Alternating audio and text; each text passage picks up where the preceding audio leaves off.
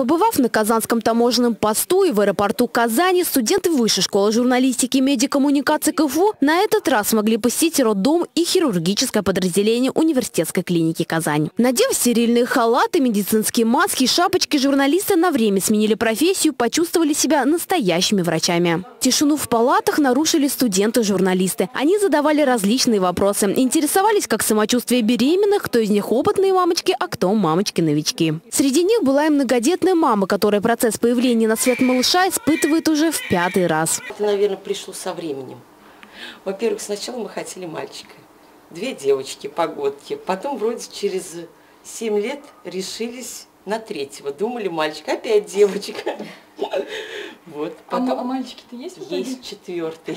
А вот опять девочка. Журналисты стали даже свидетелями рождения ребенка. Они своими глазами увидели, как происходит операция, при которой врачи извлекают новорожденного через разрез на матке матери. На часах ровно 10.10 .10 и врач информирует. Поздравляем, мальчик. Врач не должен быть добрым.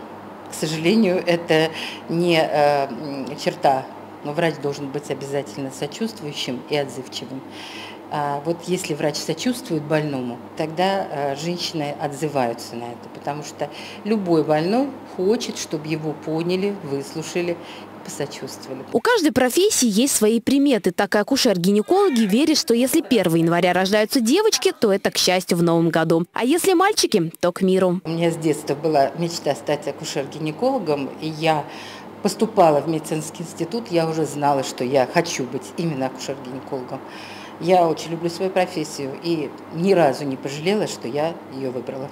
Журналисты побывали в хирургическом подразделении, увидели вживую, как проходят операции, смогли задать врачам все интересующие вопросы. Во время осмотра различных отделений клиники студенты Высшей школы журналистики и медиакоммуникации КФУ заглянули на занятия студентов-медиков. Во время пресс-тура студенты-журналисты посетили отделение с современными приборами и оборудованием и даже смогли побывать там, куда обычным людям вход строго воспрещен.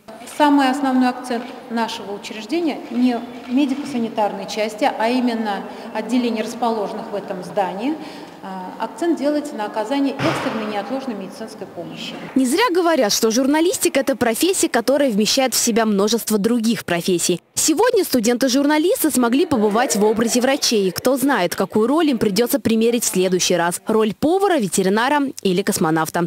Анна Глазунова, Роман Самарин, Универньюз.